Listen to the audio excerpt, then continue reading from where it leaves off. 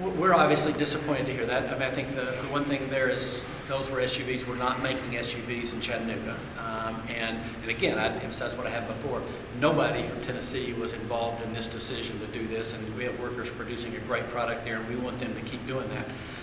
Obviously, I think it's in Volkswagen's interest to try to get to the bottom of this, straighten it out, announce here's what we're doing to remedy the situation and move forward. I mean, a- the state has a big investment, we have a lot of employees there.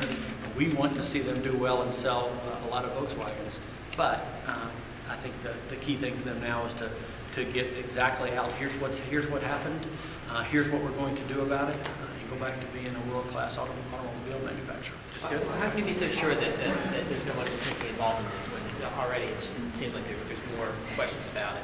Well, I I mean, I- I've had enough conversations with the Volkswagen leadership in Chattanooga, uh, Christian Koch, who's, who runs the facility there, and others, and they have assured me that they were as surprised by this as anything else. And, You know, I take them at their word for that. My sense is this was part of an engineering design that was happening uh, out of Germany, uh, and that, again, I've been reassured that nobody in Chattanooga had anything to do with this. So even though other divisions were involved, you don't, you still don't think Yeah, of course, yeah, the other divisions, of course, were Audi, which they own, and uh, I think Skoda is their other brand. Uh, But again, there's never been any inference from anybody that anybody in Chattanooga knew this was happening.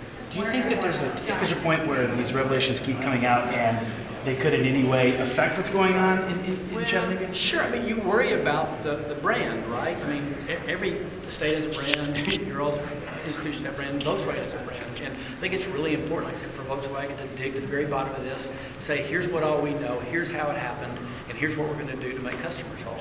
And the sooner we can get that sort of announcement, I think the better. But they haven't said anything like, regardless of what happens, we are committed to Well, expanding. they they have said, yeah, they have reassured us, um, you know, countless times that our plans in Tennessee have not changed. And if you go visit down there, which I have, you know, the production facilities are still moving full speed.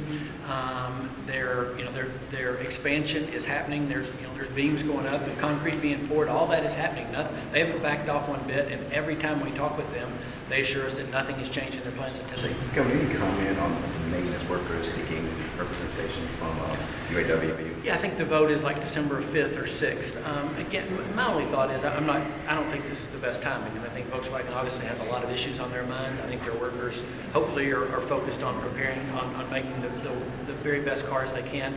To me, it just seems like the wrong timing. Thanks, guys. Thanks, sir. Thank you.